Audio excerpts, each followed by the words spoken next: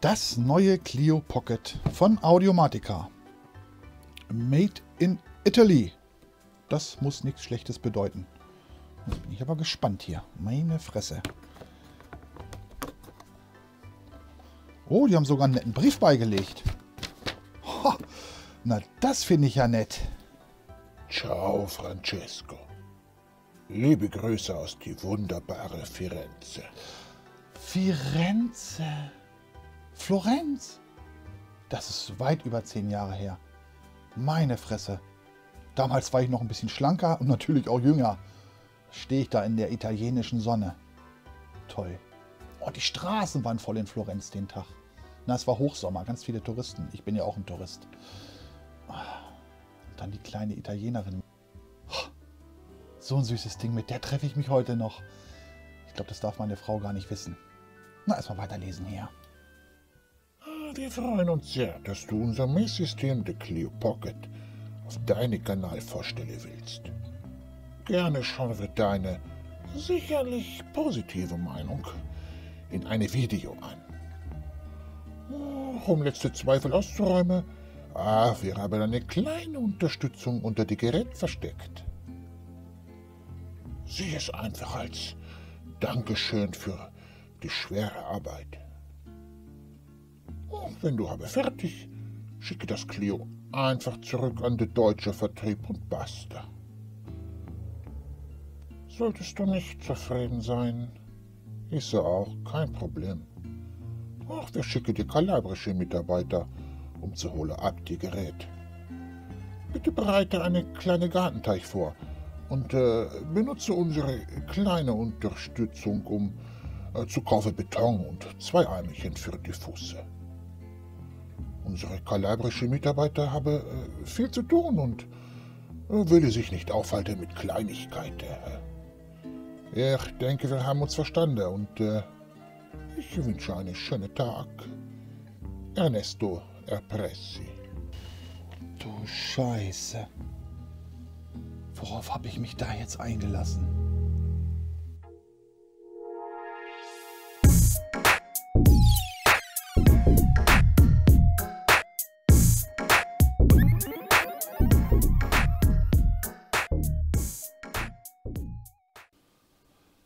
Hallo, moin moin, servus, grüß Gott, wo auch immer herkommt, in Franks Werkstatt der Lautsprechertechnik.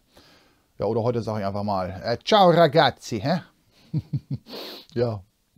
Ich habe übrigens keine Betonschuhe an und äh, ja, also diese kleine Gabel, die mit drin lag, ne, das äh, war dann auch nur auf Papier gedruckt und ja, das werde ich wohl nie bei der Bank loswerden. Aber mal Scherz beiseite, ja. Ähm, nur um, zu, um es klarzustellen. Ähm, ich habe bestimmt schon ein Jahr meines Lebens in Italien verbracht. Ähm, nicht am Stück, nein, aber wenn ich so meine Aufenthalte, Urlaube da mal ähm, zusammenzähle, dann komme ich bestimmt schon über ein Jahr. Und das gerade in den letzten Jahren, vornehmlich auch in Süditalien. Leckeres Essen, tolle Menschen und über Kultur, da brauchen wir uns eh nicht unterhalten.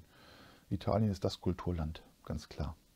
Ähm, also an alle Italiener, italienischstämmigen, ihr braucht jetzt keinen Betonlaster losschicken. Ne? Ich bin da schon Italien-Fan.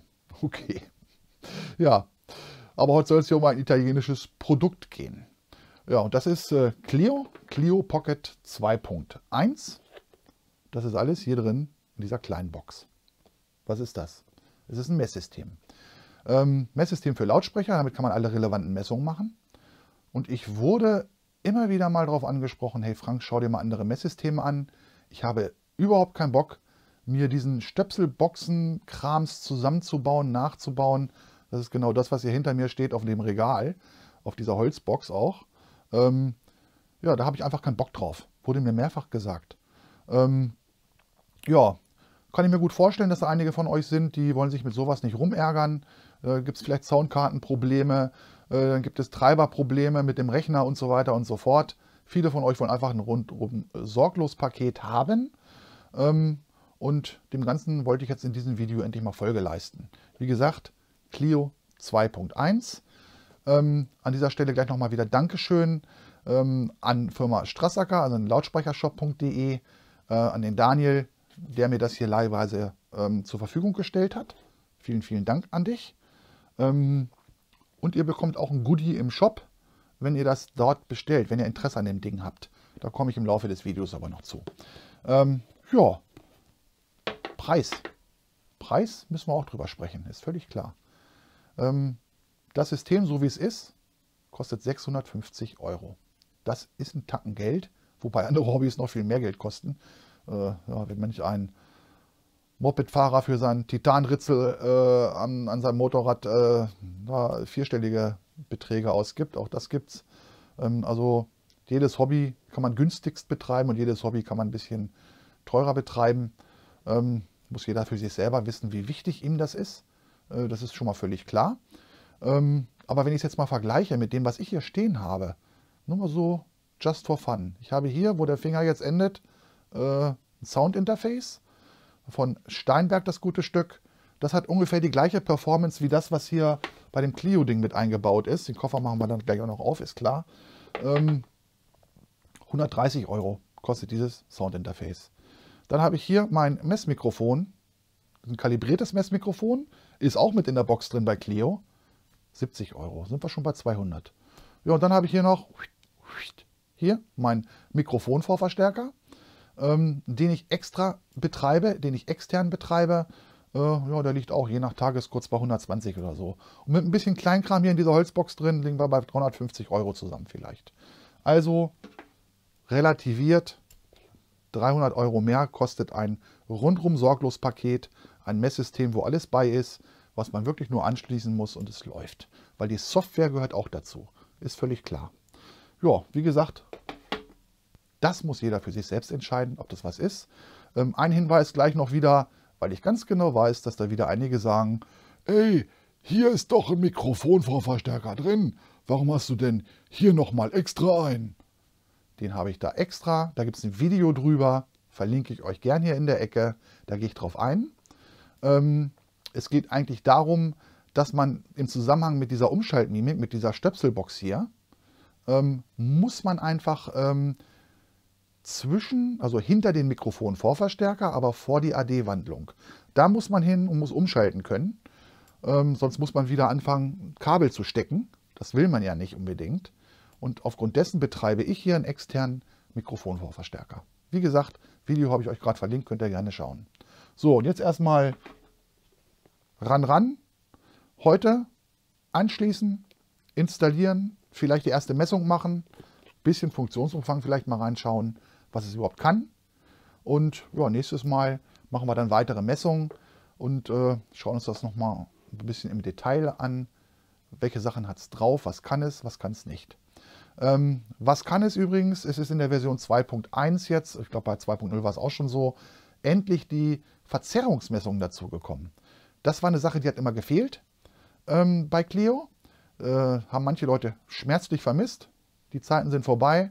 Clio kann jetzt auch Verzerrungsmessungen. Ist vielleicht so ein wichtiger Punkt auch für manche zu sagen, hey, jetzt ist alles komplett, jetzt nehme ich es. Aber das müsst ihr ja wie gesagt selber wissen. Kommen wir also unvermeidlich erstmal zum Lieferumfang. Ähm, ich habe euch ja gesagt gehabt, äh, alles mit drin, alles schön. Software gehört auch dazu, aber es fehlt noch ein Verstärker. Ihr müsst also das Messsignal äh, verstärken können. Ihr müsst damit einen Lautsprecher antreiben können. Das ist das Einzige, was ihr noch braucht. Da reicht ja ein alter Hi-Fi-Verstärker, ein alter Stereo-Verstärker, eBay Kleinanzeigen, 50 Euro, da habt ihr einen alten Yamaha oder sowas. Passt. Ähm, ja, wollen wir mal aufmachen hier das gute Stück, die Packung. Ähm, so sieht es aus, wenn ihr das bekommt. Und äh, ja, ist dann sogar besser ver verpackt als jetzt hier bei mir. Ich habe mal eben die Dinger hier wieder zusammengekrümelt und reingepackt. Ich hatte es nämlich schon einmal kurz angeschlossen. Mit dabei ein USB-Kabel, ganz klar, damit ihr das an euren Rechner anschließen könnt. Rechner braucht ihr natürlich auch, ist klar. Ähm, dann ist dran, dran äh, so ein ja, ein Kabel für die Ausgangsbuchse mit zwei Krokodilklemmen dran. Ist recht hochwertig ausgeführt, muss ich sagen. Sieht gut aus. Damit könnt ihr direkt einen Lautsprecher sozusagen anschließen. Und ich habe hier noch ein Verbindungskabel drin. Das ist ein bisschen länger. Ich weiß jetzt gar nicht, wie lang das ist hier. Ich messe es jetzt nicht aus. Ich denke mal 2-3 Meter oder sowas. Damit könnt ihr das Messmikrofon, was auch mit beiliegt, kontaktieren hier. So sieht das dann aus. Und dann die andere Seite hier ins Clio rein. Ins Clio rein, klar, das darf auch nicht fehlen. Die eigentliche Box, die eigentliche Messbox. Und die hat wirklich nichts weiter als hinten einen USB-Konnektor und vorne halt zwei äh, RCA oder Kinschbuchsen zum Kontaktieren des Mikrofons und des, der Ausgangsklemme. Ja, das ist das, was dabei ist. Ansonsten, wenn ihr ein bisschen weiter wühlt, ja, dann findet ihr kein 500-Euro-Schein, nein, aber ähm, ihr noch, äh, äh, habt noch ein kleines Tütchen hier. Äh, da ist die Kalibrierung drin. Äh, oder sagen wir mal so, das Kalibrier-Pfeil, das Kalibriergutachten. Hier ist sogar so, ein, so, eine Prägung drauf auf dem Ding ähm, für das Mikrofon, dass es sich innerhalb der gegebenen Grenzen aufhält. Ähm, das war im Hochtonbereich, ich glaube, plus minus 2 dB. Ansonsten plus minus 1 dB Genauigkeit. Reicht aus fürs äh, Hobbylabor und für mehr sogar. Äh, das passt also schon ganz gut. Ähm, das haben wir hier. Ähm, da ist die Empfindlichkeit des Mikrofons drin. Das heißt, die Ausgangsspannung pro Druck im Grunde in Pascal und ähm, oder Millivolt pro Pascal waren es, glaube ich. Das steht hier mit drauf auf diesem äh, Zertifikat. Und das kann man sich dann direkt hier ablesen, wie viel Millivolt pro Pascal äh, aus diesem Mikrofon rauskommen. Das braucht ihr gleich beim Einrichten. Okay, das haben wir. Ansonsten, früher war eine CD mit bei, mittlerweile wird hier alles ausgeliefert auf einer SD-Karte. Ähm, ihr bekommt allerdings jetzt, ähm, weil es die Version 2.1 ist, nochmal einen Download-Link. Äh, dann könnt ihr euch das direkt herunterladen. Das heißt, äh, wenn ihr das kauft, bekommt ihr, bei Strassacker ist es jedenfalls so, sehr, sehr schön gemacht, einen Download-Link mit allen Treibern, die ihr braucht und die aktuellste Version von Cleo 2.1. Das könnt ihr euch auf dem Rechner irgendwo wegspeichern. Das sind ZIP-Files, gleich einpacken am besten in einen bestimmten Ordner, damit ihr das da wiederfindet. Ja, und dann kann man eigentlich schon übergehen zum Anschließen. Und dazu würde ich sagen, äh, das habe ich schon einmal gemacht habe meine Bildschirmaufnahme hier laufen lassen. Das werde ich mal eben so ein bisschen kommentieren hier nebenbei. Äh, das habe ich, wie gesagt, hupsala, wie gesagt, hier auf dem Rechner drauf. Ich lasse es jetzt einfach mal laufen. Und hier steht dann schon ähm, Connect your Clio Pocket zu einem freien USB 2 Port. Das sollte er gleich als erstes machen. Und man hört dann diesen klassischen Sound, Plug-and-Play Sound. Das kennt ihr auch, wenn ihr ein USB-Teil irgendwo kontaktiert macht es immer bup, bup, bup oder sowas. Okay, lass uns das ausprobieren. USB-Kabel habe ich hier. Dann schnappe ich mir das Clio. Werde das einfach mal eben anschließen. Was war das hier nochmal? USB-A, glaube ich, oder sowas. Also robust. Ich komme mit diesen USB-Bezeichnungen immer durcheinander. Aber egal. Ihr wisst schon, was ich meine. Es ist ein robustes USB. Okay. Dann andere Seite habe ich hier vorbereitet, stecke ich mal eben rein. Und mein Mikrofon einfach mal hier an den Kopfhörer. Ich stecke es rein. Ich glaube, das konntet ihr vielleicht hören. Okay, also bup, bup, bup, das Ding ist kontaktiert. Was passiert jetzt? Erstmal gar nichts. Hier vorne ist ein kleines Lämpchen, was normalerweise bei Betrieb blau leuchtet.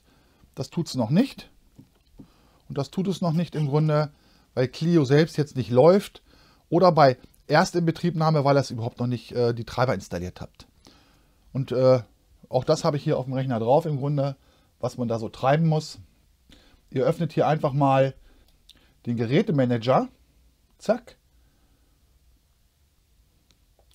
Ja, und dann könnt ihr im Grunde, äh, seht ihr schon das angeschlossene Gerät, das ist hier oben zu sehen. Äh, Clio Pocket unter andere Geräte.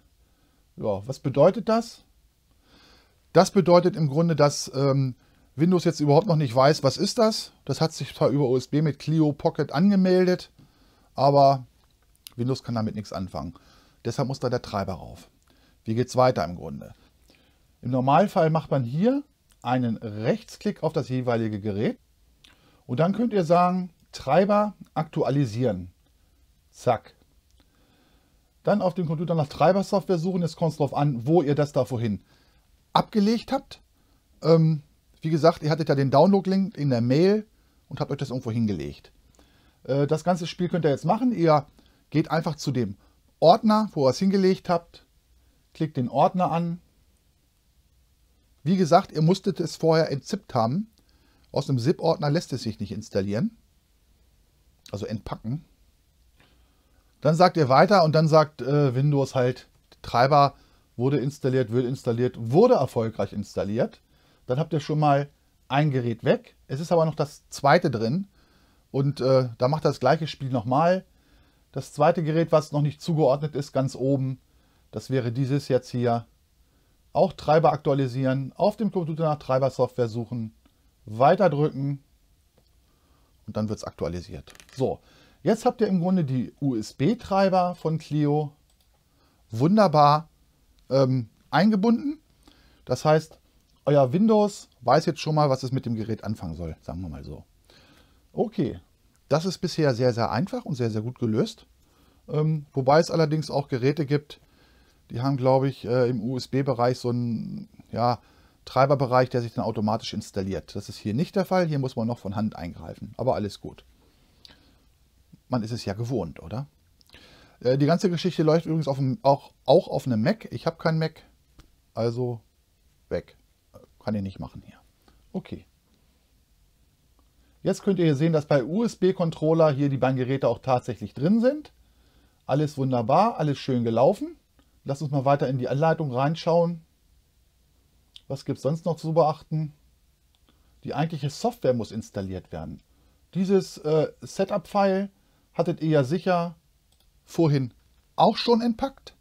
Das heißt, einfach wieder dahin navigieren, wo ihr das entpackt habt und Setup starten. Und klick, klick. Da ist es nämlich. Welcome, Next. Dann natürlich alles Mögliche hier wieder bejahen, ne? wie das immer so ist. I agree. Ein Ordner aussuchen, nämlich den Standardordner und sage Next. Wie soll es denn heißen im Startmenü? Es kann so bleiben und schon geht die Socke ab hier. Und er ist auch ruckzuck fertig und das war jetzt tatsächlich Echtzeit hier. Das geht nämlich ruckzuck. Also nochmal Next und Finish. Okay. Damit sollte Clio jetzt installiert sein. Wir haben jetzt die USB-Treiber installiert und Clio selbst in der Version 2.1. So, und jetzt? Jetzt schauen wir wieder in die Anleitung, was passiert. If you have completed the installation, dann sollte es schon im Startmenü unter Programm Clio Pocket zu finden sein. Machen wir mal, zack. Und hier oben ist es. Ich drücke einmal rauf. Und das ist jetzt der erste jungfräuliche Start. Jetzt muss ich noch eine Sprache mir auswählen. Manual Language. Okay, das mache ich dann gleich mal auf Englisch. Ja, und das war erstmal alles. Das Gerät wurde erkannt und die Software läuft. Und jetzt können wir eigentlich erst anfangen, mal so ein bisschen rumzueiern mit dem guten Stück. So, jetzt habe ich einmal kurz die Kamera ein bisschen anders hingeschoben hier. Kann also weitergehen von meiner Seite aus. Ähm, ja, woran erkenne ich überhaupt, dass es läuft? Zum einen habt ihr hier unten in der Ecke bei Clio diesen Smiley, der grinst jetzt. Äuglein, Näslein, Mund. Und wenn der Smiley grinst, ist auch in der Anleitung beschrieben, ähm, dann heißt es, die USB-Verbindung, die stimmt, die passt. Und habe ich gerade eben hier beim Kameraaufbau versucht, das Ding mal in einen anderen USB-Port zu stecken. Da wurde das Ding nicht erkannt. Es scheint also kein Automatismus da drin zu sein, ähm, an welchem USB-Port das gute Stück gerade angestöpselt ist. Jedenfalls hat es bei mir nicht funktioniert. Ich wüsste auch nicht, wo es einstellen kann, dass ich einfach sage, USB neu verbinden oder sowas. Konnte ich nicht finden. Deshalb mein Hinweis, äh, wenn ihr das Ding zu Hause das erste Mal einrichtet, dann macht es bitte so, dass ihr gleich auf den USB-Port geht, den ihr später benutzen wollt, wenn ihr das Ding dann irgendwo hinpackt. Vielleicht mal so als, als kleiner Hinweis. Sonst denke ich mal, müsste man ja, neu installieren oder so. Ich, weiß es nicht. Jedenfalls hat das bei mir jetzt nicht auf Anhieb so geklappt. Muss man einfach sagen. Ähm, ist aber kein Beinbruch, wie gesagt. Es läuft ja soweit, aber sucht euch den richtigen Port aus. Äh, als weiteres Zeichen, dass es überhaupt gut läuft, ja, ganz einfach, schon angesprochen, die blaue LED, die leuchtet hier vorne jetzt drin. Und andere Kamera vielleicht nochmal, sieht das auch. Und das bedeutet halt, die Verbindung ist aufgebaut, Clio ist betriebsbereit, Clio ist verbunden mit der Software quasi. Die Software, ja, da äh, können wir einfach mal rüberschauen. Was sehen wir jetzt hier eigentlich alles? Ähm, bei euch hier oben in der Ecke steht vermutlich jetzt beim ersten Start Clio Pocket Uncall, also unkalibriert. Äh, da weist auch die Anleitung ein bisschen darauf hin. Die Anleitung habe ich ja hier. Das sind ja die ganzen Schritte. Äh, running Clio Pocket for the first time, also das erste Mal einschalten. Ich gehe es mit euch jetzt einfach mal so durch. Ähm, ja, und da seht ihr dann auch den Hinweis, dass oben in der Ecke unter Umständen Clio Pocket Uncall steht. Also das gute Stück ist jetzt unkalibriert. Es läuft so noch nicht. Okay, wir wollen gleich die Kalibrierung starten, das machen wir wieder gemeinsam. Trotzdem wollen wir jetzt erstmal einmal rüberschauen, was bietet Clio eigentlich alles hier in diesen Schaltflächen. Das können wir uns auch direkt jetzt am Original Clio anschauen. Da gucken wir einfach mal, äh, so hier hinter sind, ach steht auch sogar hinter, ist ein Hauptmenü. Ähm, wir haben diverse Sachen, um Files im Grunde hier ähm, zu öffnen, wegzuspeichern und auch zu exportieren. Das ist diese Schaltfläche.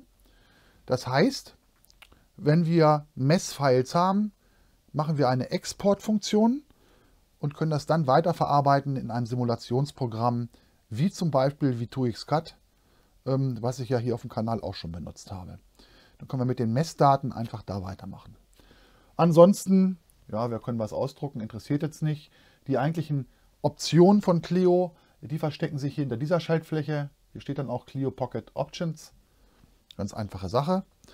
Ähm, dann können wir sagen, was für eine Messung machen wir überhaupt. Wollen wir eine FFT-Messung machen? Äh, wir können hier einen sogenannten Chirp fahren. Log Chirp Analysis steht da. Das ist nichts anderes als das, was ihr von REW bei mir schon kennt.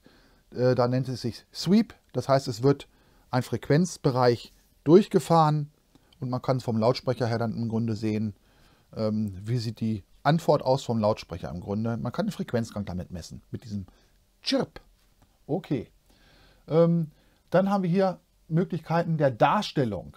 Da haben wir einmal Frequency Graph, das ist das, was ihr so kennt, wenn er einen Frequenzgang aufnimmt.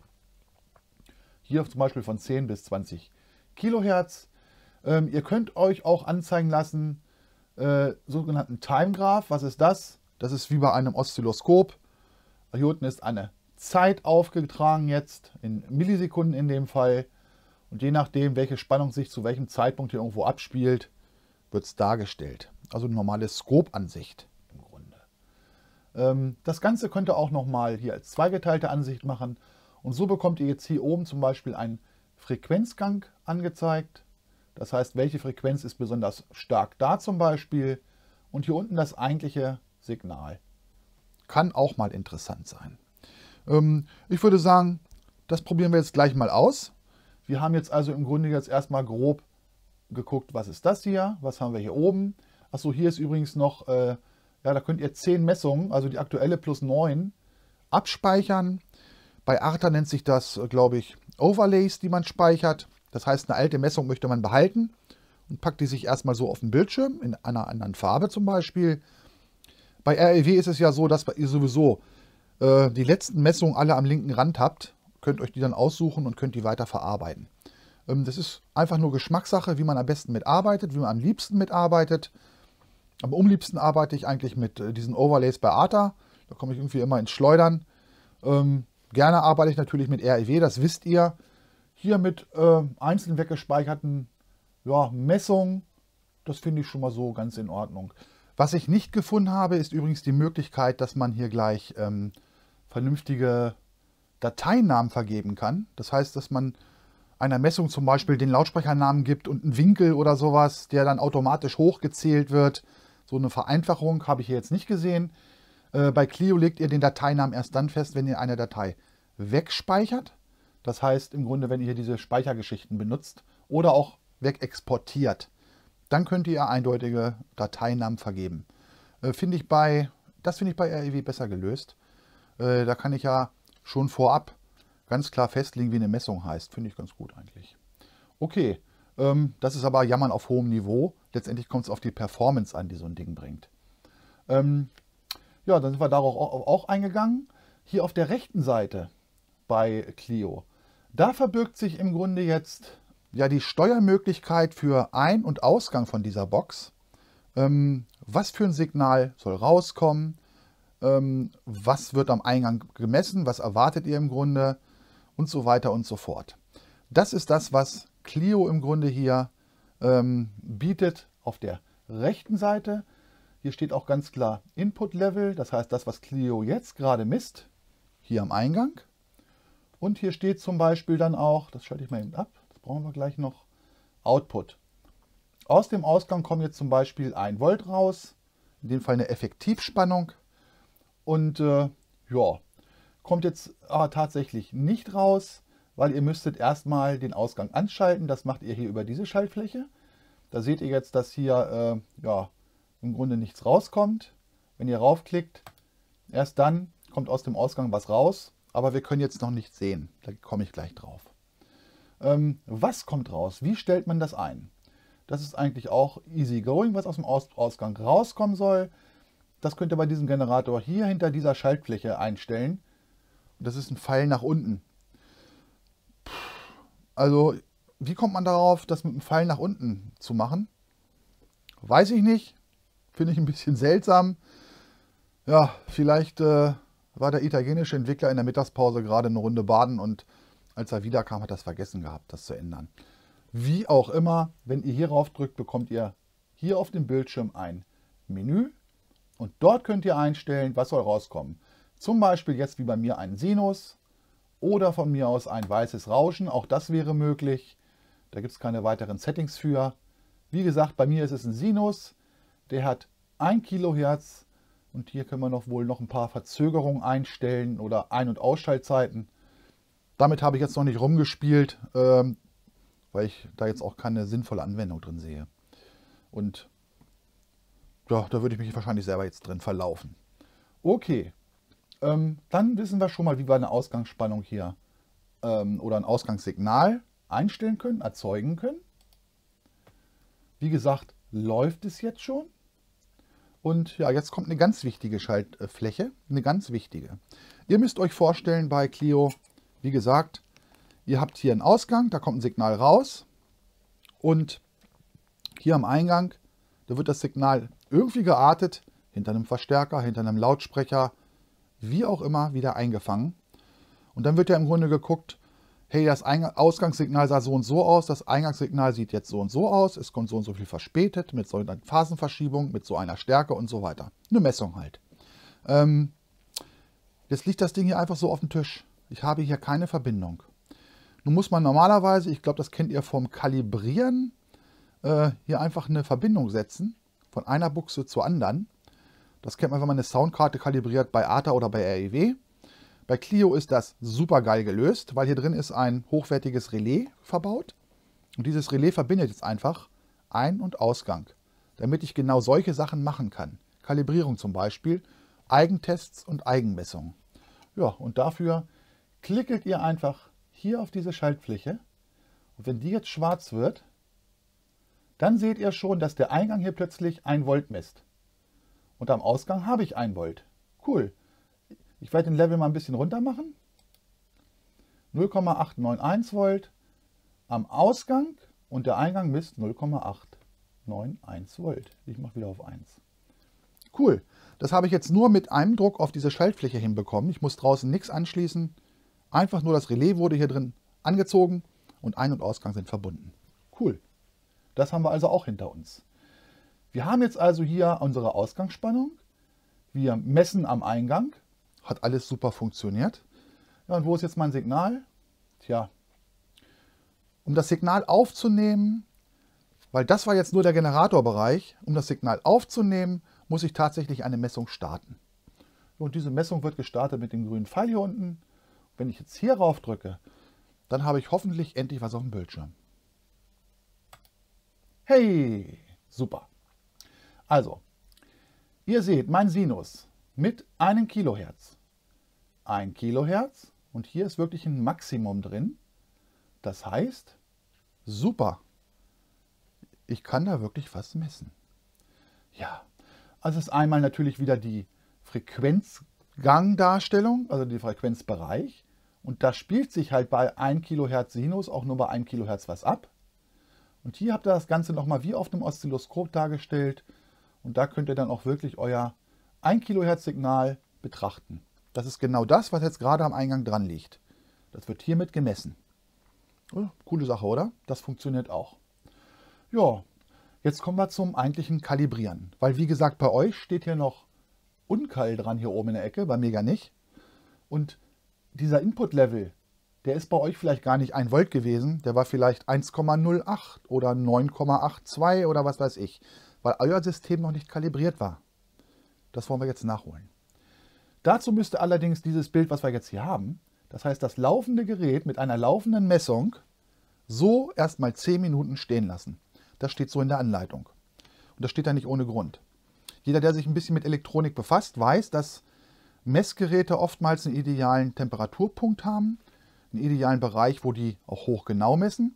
Das liegt einfach daran, dass jegliches Bauteil, alles was da drin ist, einen Temperaturlauf hat, einen Temperaturgang. Das heißt, Widerstände ähm, verhalten sich anders bei anderen Temperaturen. Die haben immer diesen leichten NTC oder PTC-Effekt, sagen wir mal. Auch Messwiderstände machen das. Ähm, wenn da Operationsverstärker drin sind, die Eingangsbeschaltung und so weiter. So ein Ding läuft sauber bei einer bestimmten Temperatur. Und bei Clio ist man jetzt beigegangen und hat gesagt, okay, wenn das Ding so 10 Minuten, Viertelstunde vor sich hinläuft, dann hat dieser Kasten Betriebstemperatur, sagt man. Und äh, das wird die Temperatur sein, mit der das gute Stück später am laufenden Band benutzt wird. Und bei dieser Temperatur, da machen wir unsere Kalibrierung. Und das ist der Grund dafür, warum man jetzt erstmal 10 Minuten, Viertelstunde hier warten soll.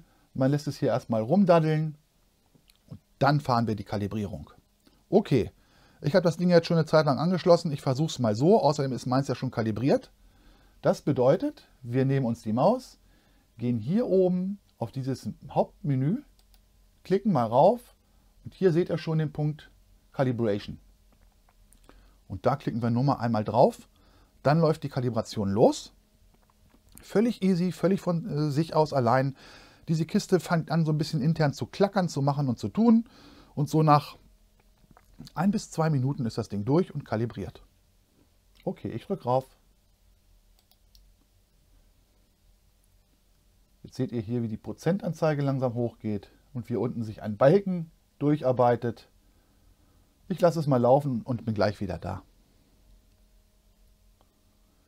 So, keine Minute später sind wir hier schon bei 85 Prozent. Das heißt, die Geschichte ist hier gleich beendet. Wie gesagt, das hat jetzt, war ein kurzer Cut nur, es hat vielleicht ein Minütchen gedauert. Jetzt ist er fertig. Okay, damit ist mein System jetzt kalibriert. Falls es bei euch eine Fehlermeldung gemacht hat, einfach nochmal länger warm laufen lassen, nochmal probieren, dann sollte es funktionieren. Und vor allem sollte es jetzt so aussehen wie bei mir, Clio Pocket ohne Uncoil dahinter. So sollte es jetzt bei euch aussehen. Okay, haben wir auch. Das System ist jetzt komplett einsatzbereit für alle Schweinereien. Ähm, wie gesagt, das Video ist als Zweiteile angelegt, trotzdem wollen wir heute noch eine erste Messung machen. Da zeige ich euch jetzt gleich mal eine Funktion, die sich hier versteckt in diesem Generatorbereich. Ich denke mal, das soll es dann für heute auch erstmal gewesen sein. Aber das machen wir noch. Und zwar nehme ich jetzt mal die beigelegte Krokodilklemme. Die kommt auf den Ausgang gesteckt. Und damit können wir schon direkt Komponentenmessung machen. Das heißt, es versteckt sich hier drin ein komplettes LCR-Messgerät, mit dem ihr vernünftig eure Bauteile ausmessen könnt. Ist ja auch ein wichtiger Punkt. Manchmal möchte man ja wissen, ist der Kondensator noch in Ordnung oder ist er schon trocken? Ähm, Kondensator, Stichwort, habe ich mir mal hingelegt hier. Von Intertechnik ein Audyn mit, was haben wir, 47 Mikrofarad. Den schließe ich einfach mal an. Und so eine LCR-Messung mit Clio einfachste Messung der Welt. Man muss immer nur wissen, wo versteckt sich die Funktion. Das ist ein bisschen schwierig, habe ich bei der Software jetzt schon gemerkt. Ähm, da sind viele Sachen ganz schön versteckt. Aber das macht einfach die Routine, wenn man damit arbeitet, würde ich sagen. Ähm, wo versteckt es sich? Ich klicke hier einfach mal auf dieses Mikrovolt, was wir hier haben. Klack. Und da könnt ihr sehen, Wir können uns die verschiedenen Level anzeigen lassen. Level in Volt haben wir die ganze Zeit gehabt.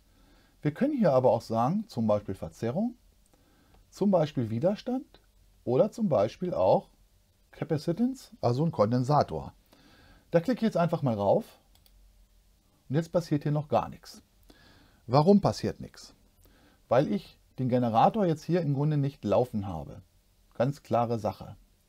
Äh, wir müssen jetzt auf ein paar Sachen achten. Ähm, es wird ein Signal hier im Grunde rausgegeben zu dem Kondensator. Es wird aber auch gleichzeitig wieder am Ausgang zurückgemessen. Das heißt, ich muss intern wieder meine Brücke setzen. Das ist der erste Punkt. Das kontrolliere ich mal und wir haben ja gesagt, wenn hier das Ding so leuchtet, dann ist das Gerät intern gebrückt. Das ist schon mal wichtig bei einer Komponentenmessung, weil ich habe jetzt nichts weiter dran hier als wirklich meine Komponente. Okay, haben wir gemacht. Als nächstes ähm, schalten wir einfach mal den Generator ein. Ich habe ja immer noch Sinus 1 Kilohertz drin. Das tut jetzt aber erstmal nichts zur Sache. Und Clio möchte jetzt also wie gesagt einen Kondensator messen. Und das mache ich, indem ich hier einfach das auf der Schaltfläche starte. Er sagt hier unten schon LCR Ready. Das heißt, Clio erwartet jetzt eine Messung von einem Widerstand, Spule oder Kondensator. Okay. Wenn ich auf Play drücke, seht ihr hier unten verschiedene Frequenzen durchfahren. Hier. Das ist sehr pfiffig gemacht. Hochwertige LCR-Meter messen Komponenten bei mehreren Frequenzen. Sehr gut gemacht. Und hier oben bekommt ihr dann gleichzeitig auch schon angezeigt das Ergebnis. Also dieser Kondensator hat 46,17 Mikrofarad. Und das ist verdammt nah an dem, was draufsteht. Wunderbar.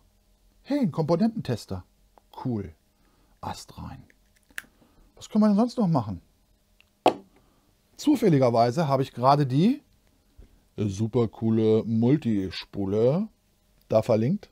Hier auf dem Tisch. Okay. Einfach mal ran. Nehmen wir mal hier den größten Wert, den ich so drauf habe. Das waren ja um 820 äh, Mikrohenry. Zack. Zack. Gleiches Spiel.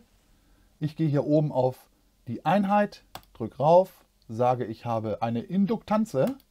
Ah, Senora, Induktanze, hä? Hm? Und sage Play, damit er die Messung macht. Ach, und da oben steht schon, er hat gerade schon eine Messung gemacht. Beim Umschalten. Okay, 0,812 Millihenry, also 812 Mikrohenry. Genau das, was ich hier aufgewickelt habe. 820. Toleranz, hä? Aber eher von meiner Wickelei als vom Messgerät. Okay, tipptopp, funktioniert. Also, das haben wir schon mal hinter uns. Das ist schon mal sehr gut. Als letztes möchte ich vielleicht noch mal einen Lautsprecher durchmessen. Ich habe ja diesen riesen Boliden hier auf dem Tisch, den wir demnächst mal vorhaben. Ähm, und, schließ den mal an. Zack. Zack. Da könnt ihr jetzt sogar die Messtöne hören. Moment.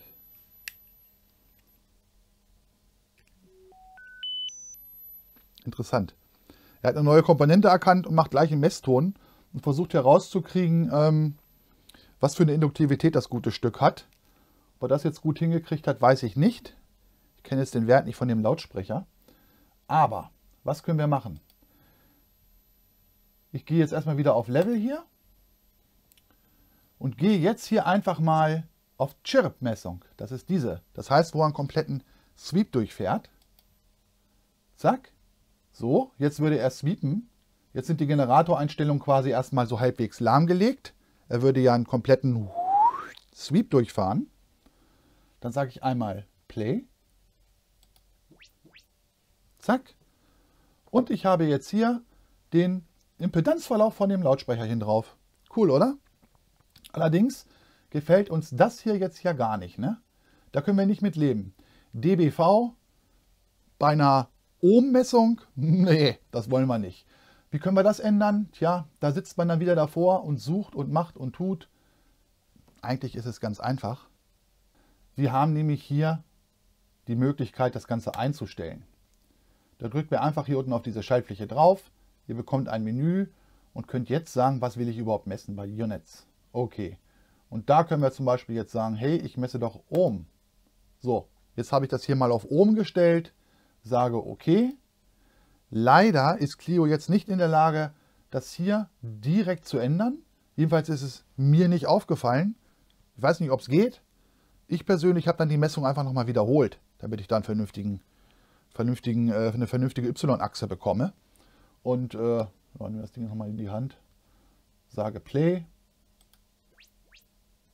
So, da haben wir es, die Achse. Hier oben abgeschnitten, das scrollen wir gleich noch runter, zeige euch, wie es geht. Ähm, ja, meine Bitte an Clio, ans Audiomatica-Team nach Italien. Leute, ähm, sowas muss irgendwie schneller im Zugriff sein. Wenn sich sowas zu arg versteckt, ist es doof. Aber auch hier der Hinweis, wenn man mitarbeitet, wenn man es öfter macht, dann soll es ja eigentlich kein Problem sein. Trotzdem, mich hat es erstmal total verwirrt und ich saß da erstmal wieder Ochs vom Berg davor. Ähm, als Neuling. Auch ich bin Neuling mit Clio, ganz klar. Ich habe es ja für euch jetzt erstmal so ein bisschen ausprobiert. Okay, wie kriegen wir das jetzt noch runtergescrollt? Das ist wieder was Einfaches, das kriegen wir eigentlich sofort hin, weil diese Schaltflächen hier sind halbwegs selbst erläuternd. Man kann das Bild halt äh, Move Cursor Down, Move Cursor Up im Grunde munter durch die Ring scrollen hier. Ich schiebe es mir einfach mal ein bisschen runter. So, und jetzt haben wir hier den Impedanzverlauf von dem Lautsprecherchen mit, da fehlt mir wieder was. Bei anderen Programmen klicke ich rein und bekomme hier gleich angezeigt, wo ich bin, wie ist der Punkt, welche Frequenz, welcher Pegel. Das fehlt mir hier wieder. Ähm, auch das ist bei Clio wieder etwas anders gelöst. Da muss ich erst einen Cursor setzen, hier mit A kann mir den jetzt hier hinschieben. So, und jetzt kann ich hier unten ablesen, es sind 165,68 Hertz und dort herrscht ein Widerstand von 36,44 Keks Ohm. Okay, also die Philosophie, die dahinter ist, ist ein bisschen anders, muss man sagen. Anders als ich es gewohnt bin von REW und REW verwöhnt die Leute ja auch ordentlich, muss man ja sagen. Okay, Trotzdem kommt man letztendlich mit klar, wenn man sich ein wenig mit beschäftigt, wenn man ein wenig mit rumfummelt. Das muss ich schon mal sagen. Ähm, ich finde es so angenehm zu bedienen. Die LCR-Funktion gefällt mir super. Diese super einfache Kalibrierung gefällt mir gut. Finde ich erst rein. Stichwort Kalibrierung. Eins haben wir, glaube ich, noch vergessen. Ne? Klar haben wir noch was vergessen. Hier drin im Kästchen hatte ich euch ja gezeigt, verbirgt sich ja das Kalibrierzertifikat, dieses Zertifikat von dem Mikrofon, das habe ich ja hier. Und da drin drauf äh, ist ja dann die ähm, genaue ja, Empfindlichkeit in Millivolt pro Pascal, haben wir schon gesagt. Das müssen wir hier noch eintragen. Ich zeige euch, wo das geht. Ähm, das geht nämlich über die Haupteinstellung hier. Dann geht ihr auf Units und hier oben ist Pressure Microphone Sensitivity in Millivolt pro Pascal. Das heißt, genau hier, da tragt ihr ein, ähm, was hier auf dem Zertifikat draufsteht. Dann ist das Thema auch durch. Einfach OK sagen, dann ist es gespeichert. Ähm, hier Hinweis, mit einem Punkt angeben, nicht mit einem Komma, sonst gibt es eine Fehlermeldung. Okay. Hätte ich fast vergessen, auch das gehört natürlich zur Kalibration, wobei wir mit dem Mikrofon ja erst beim nächsten Mal arbeiten wollen. Okay, haben wir hinter uns. Haben wir gut gemacht. Es läuft. Ich freunde mich langsam mit an. Und ja, ich denke mal, so eine richtige Endabrechnung gibt es dann nach dem zweiten Teil. Ähm, Hinweis noch, ich habe es ja gesagt, wenn ihr an Clio Interesse habt und das jetzt im Grunde schon gleich bestellen wollt, gefällt mir erstmal ganz gut, was der Frank da macht, bestelle ich. Dann kauft es bei Strassacker, also beim lautsprechershop.de. Ich verlinke euch das unten nochmal, ähm, weil da bekommt ihr ein Goodie dazu. Das ist sehr, sehr knapp kalkuliert. Ich konnte euch leider keinen großen Rabatt da irgendwie rausschlagen, aber ihr bekommt dazu eine passende Mikrofonklemme. Ähm, ist auch immer ein wichtiger Punkt. Das Mikrofon passt hier genau rein. Was heißt das, es passt genau rein? Bei mir ist es zwar jetzt noch wackelig, aber dazu bekommt ihr auch noch eine passende Gummitülle. Und dann habt ihr ein System, was hundertprozentig passt. Ein Mikrofonhalter für ein Standardstativ und eine Gummitülle. Und da passt das Mikrofon rein. Und dann ist da Ruhe im Karton. Da müsst ihr euch nicht irgendwelche wilden Aufbauten machen. Das ist der Goodie, den Strassacker damit beilegt. Äh, Finde ich super. Das heißt, bei Interesse, bei Strassacker gibt es ein Goodie oben drauf. Könnt ihr euch drüber freuen. Ähm, wie das genau, wie ihr zu dem Goodie kommt, wenn ihr es bestellen wollt, das ist dann äh, bei der Bestellung angeben. Da ist, glaube ich, ein Bemerkungsfeld. Franks Werkstatt, alles zusammengeschrieben. Oder wenn ihr telefonisch bestellt, dann äh, gebt das einfach am Telefon weiter. Hey, äh, Code Franks Werkstatt, bitte mit Goodie liefern, Mikrofonklemme plus Reduzierhülse. Dann passt das. Okay. Wow, da raucht auch mein Kopf. Bis nächstes Mal. Ciao.